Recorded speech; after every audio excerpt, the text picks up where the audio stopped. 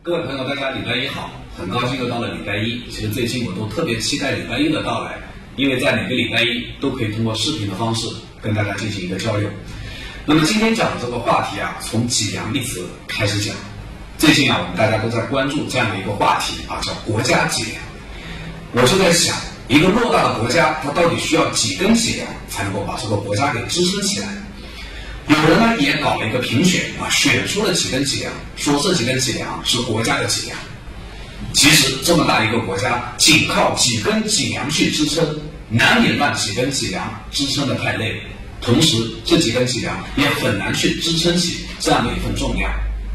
其实，对一个国家而言，国民才真正组成了这样的一个国家。我们有十四亿的国民，这些国民的脊梁并不需要去评选。更不需要去花九千八百块钱，每一根国民的脊梁才是这个国家真正的脊梁，也只有国民的脊梁挺直了，国家的脊梁才能够真正的挺直。也有很多朋友曾经问过我说，你是不是因为遭受了怎么样的不公或者一些不平等的待遇遭遇，才来参选人大代表？其实同样可以用“脊梁”一词对这个问题加以回答。当我们脊梁受到伤害的时候，我们能做的是应该停止伤害。并且努力的去治疗我们受伤的脊梁，让它能够尽可能的康复。而当我们的脊梁还没有受到伤害，或正在遭受着伤害隐患的时候，我们是否可以有一个预防的措施，保护好我们的脊梁，以让他们免遭伤害呢？就拿最近我们大家都非常关注的关于中央财政拨款的单位公布的三公经费一事，当我们看到这份账单的时候啊，我们大吃一惊。很多政府部门的花费远远超出了我们的想象，甚至有一些社会团体或者由社会团体主办的非政府机构也在花我们纳税人的钱。现在把这份账单公布出来啊，虽然说是往前走了一步，可是这份账单它不像账单，更像一则通知，通知我们所有纳税人，钱一共花了这么多，而并没有发挥公布账单它最应该有最重要的作用。就是让我们每一个人可以去审视、去审查这些钱该不该花，花的合不合理、合不合适，花多少钱、怎么花要批准，花在哪里要批准，花的过程里面具体的细节要监督、要了解、要质询，花的效果要有评估，如果乱花钱的要有问责。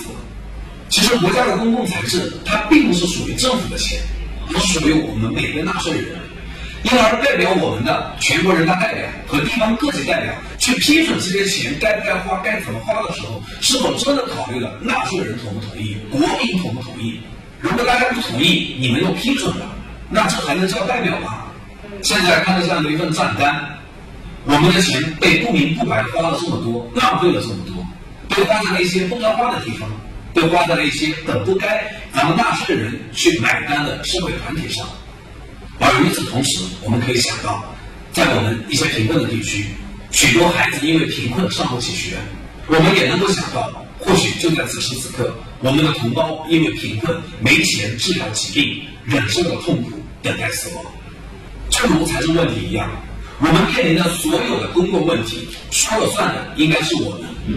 因而，我们去投票站选出我们自己代表的时候，就应该更加的慎重。去选那些愿意成为我们的代表，并且真的能够成为我们代表的人。当然，我作为一名参选人，我郑重的向所有的选民承诺，我会努力去做一名真正的代表。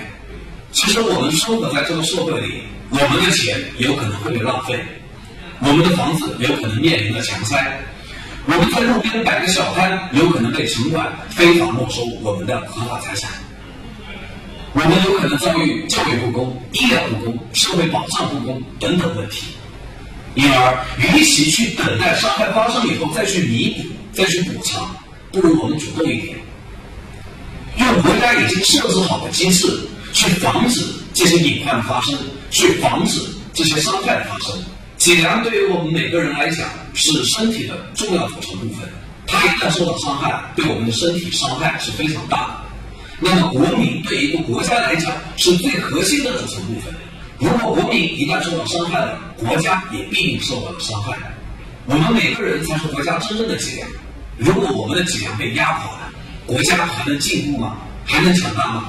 现在我们放着十四亿根脊梁不去管、不去问，相反去评选几根脊梁出来，说他们是我们国家的脊梁，这意义又何在呢？我们是国家的脊梁，我们的脊梁好不好，决定了国家好不好。国家好不好，看我们的脊梁是否去承受了太多太重的负担，看我们的脊梁是否遭到了伤害。